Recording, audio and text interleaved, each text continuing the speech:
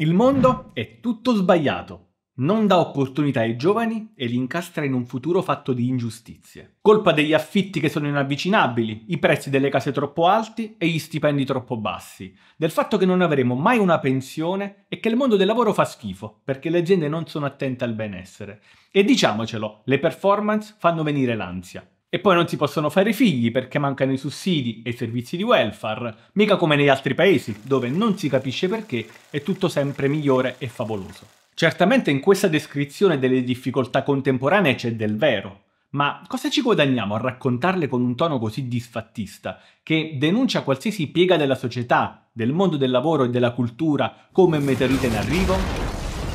Il problema è che molti tra i nuovi media digitali, vale a dire gli account social che sono nati come progetti di divulgazione ed educazione per la generazione Z e millennial, hanno scelto questa narrativa che ogni giorno gli dice che non ce la possono fare perché non gli vengono date occasioni. Lo fanno perché hanno bisogno di intercettare abitudini, comportamenti e sentimenti della community per poi produrre contenuti che possano stimolare l'identificazione e quindi ottenere interazioni. Se però nessuno fa da contraltare a questo racconto, tipo i media tradizionali, che non hanno saputo rinnovare il loro linguaggio, succede che questo sentire giovanile viene imprigionato in una bolla e assume la forma della profezia che si autoavvera. Perché nessuno uscirebbe di casa ad affrontare la giornata se ha qualcuno che costantemente gli sussurra nell'orecchio che diluvia, che un'auto può investirlo, che c'è lo smog, che può essere derubato o che un fulmine potrebbe colpirlo in più.